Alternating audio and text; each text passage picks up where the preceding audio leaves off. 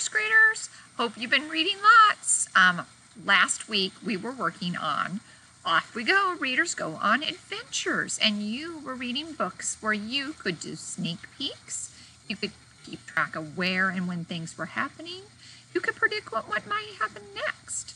You could retell the important parts of the story, and you could reread to notice more. Those are all really, really important things in first grade. And then you connect those parts together to make sense of the story. Some of you might have been re- reading Frog and Toad Are Friends, maybe Tiny, Junie Jones, Marley, or any books that you might have at home or on Epic. This week, we'll be talking about readers meet characters along the way. So our, we're really going to be focusing on characters now. So readers meet characters along the way, and the way we're going to practice this together is with the book Mr. Putter and Tabby Drop the Ball. So the first um, goal right now is going to be to learn about the characters. So we're going to look at Mr. Putter, that's this guy right here, and we're going to take a look. What do we already know by looking at the picture of Mr. Putter? So think in your heads, what is he doing? Where do you think he's at? What kind of clothes is he wearing? Maybe there's other characters in the story. So you might look, he does have a cat. I wonder if he likes cats. And let's see if there's any other characters that come along the way. Remember, you can reread to learn more about the characters. We're really focusing on characters right now. And so let's notice their feelings. We're going to bring them to life when we're reading. So here it is. Cynthia, Rylant, Mr. Putter, and Tabby drop the ball. Oh, I'm noticing that that cat's looking at that ball like, oh my goodness, I don't know if I want to play baseball. This is a chapter book. We won't be reading the whole book. We'll be reading parts of this book. And later I'll send out a video of just me reading the book. So if you do want to hear the thing. So we're going to start with chapter one, baseball. Ooh, that already gives us a clue, but I'm looking at Mr. Putter and I'm noticing that he doesn't look like he's playing baseball. He looks like he's snoozing in the garden or he's snoozing on the swing. And it looks like his cat likes to snooze with him.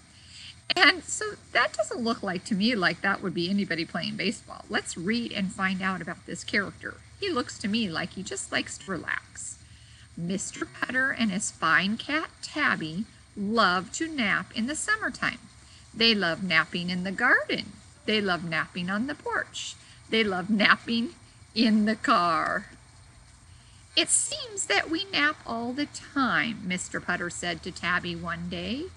Tabby was old and her frisky days were over. She loved napping. I think we need a sport, said Mr. Putter. Tabby opened one eye. Hmm, what are you thinking? What kind of sport? I think we need baseball, said Mr. Putter. Tabby opened the other eye. I wonder where my old mitt is, said Mr. Putter. He headed to the basement. Tabby was wide awake now. Oh my goodness, it looks like he's played all kinds of sports. There's a bike and a, looks like a badminton racket and a, a sled. And there's an old telephone down there, oh, roller skates. He's got an interesting basement. Chapter 2. Looks like he's calling somebody. Mr. Putter found his mitt. Now all we need is a team, he told Tabby. Mr. Putter called his friend and neighbor, Mrs. Teaberry. Ooh, here comes a new character, so we're keeping track of Mr. Putter, Tabby, and a new character, Mrs. Teaberry. Mrs. Teaberry would know about a team. She was very sporty. She even walked the dogathon with her good dog Zeke. Ooh, we just learned that she has a dog. Of course there's a team, said Mrs. Teaberry. It's called the Yankee Doodle Dandies. Am I too old to play? asked Mr. Putter. Heavens, no, said Mrs. Teaberry, handing Zeke a sniffy bone. You will feel young on that team. So we know now Miss Teaberry looks like she's a very active lady and loves sports and dogs. Will my knees feel young on that team? asked Mr. Putter. You're not too old, and neither am I, said Mrs. Teaberry. We'll both play. Mr. Putter hung up the phone. I hope I'm not too old, he said to Tabby. Tabby just purred. To her, Mr. Putter was perfect. I think she likes sitting around. So we're going to stop there and we're going to go back and we're going to talk about the readers meeting characters along the way. So we just found out a lot of things about Mr. Um, Putter. We found out that there's more characters in Mr. Putter's book and he we have to talk about those characters. Maybe we'll reread to learn more about the characters. And you can do that on the re, um, when I'm recording it for you. Bring the characters to life when you're reading them. And notice when the feelings change.